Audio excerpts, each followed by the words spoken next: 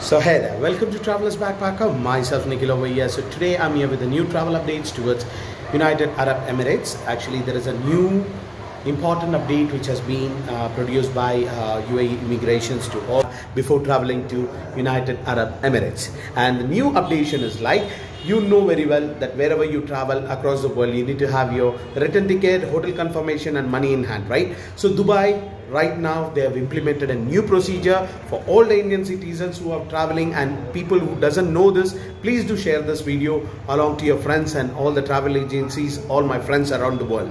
Okay this video is only for the indian citizens and many other citizens as well. And for your information for your country whichever citizen you are please make sure you also visit the uae immigration website to get the complete details about it. So let me come on to the video and especially for indian citizens who are going to travel to united United Arab Emirates. It has been strict that uh, now UAE is also giving a visit visa for everyone for their tourism, for visiting family members, uh, for your uh, job opportunities over there. You can go and search your job and get it converted and all such uh, visas, right? So right now, if you're traveling on visit visa to United Arab Emirates, you got to make sure that you need to have a written confirmed ticket with you along with that 100% hotel confirmation with you and also 5000 dirhams which is equal to INR 1,30,000 rupees.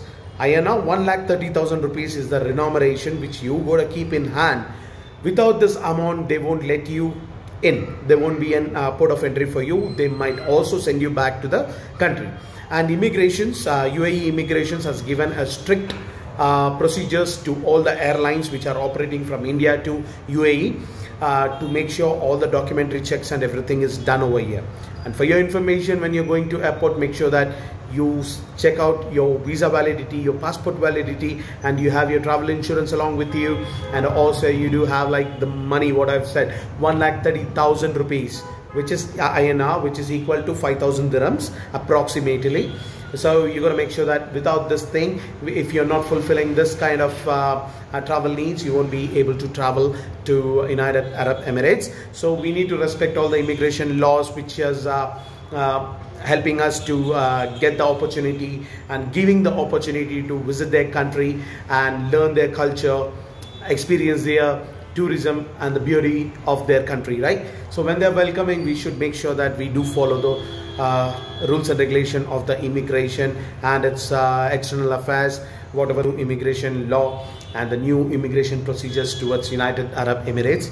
And do not make sure uh, and also make sure that you do carry your passport uh, your documentation whatever I've said you right now.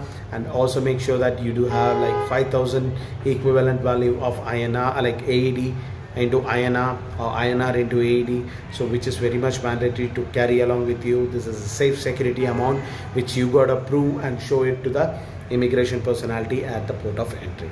I hope uh, you guys got all the information about UAE new regulations about immigrations and uh, I would also love to uh, share you more updates on upcoming uh, immigration procedures across the world.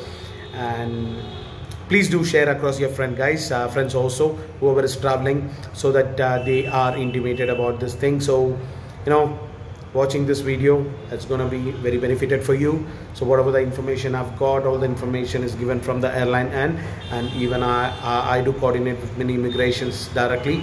So when i spoke with one of the official with the uae immigration we have seen many newses coming out today. And for just cross-checking thing when I call them they told us this as a strict action uh, they are taking care.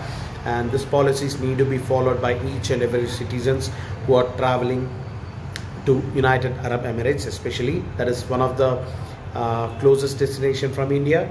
And I hope see you next time. Till that bye bye from Nikhil. Ciao ciao